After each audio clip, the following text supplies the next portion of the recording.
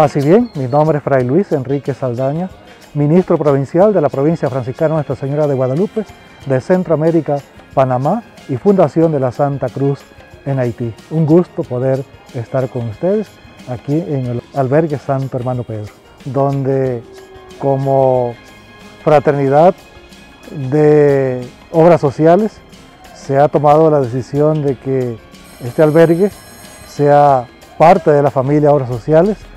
Es un albergue igual a Virgen de Socorro, con niños con capacidades especiales, con parálisis cerebral.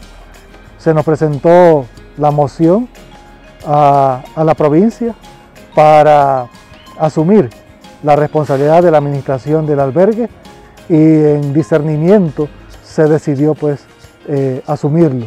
Eh, creemos que aquí se nos abren muchas puertas para atender de forma integrada. Por ahora pues se ha asumido con los niños que había, algo más de 60 niños.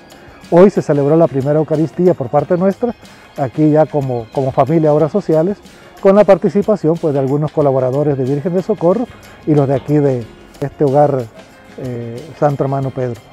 Ahora, ¿qué esperamos pues nosotros de cara al futuro? Que sea para un mejor servicio, que todos juntos podamos seguir contribuyendo para el bien de estos niños, donde se les atienda con cariño, con amor. Invitamos todos pues, a seguir contribuyendo. Cada centavo que se nos dé va siempre a, al necesitado. Y nosotros queremos siempre que su quexal o su dólar pues se estire lo más posible para ayudar a, a más personas. Dios les bendiga, paz y bien.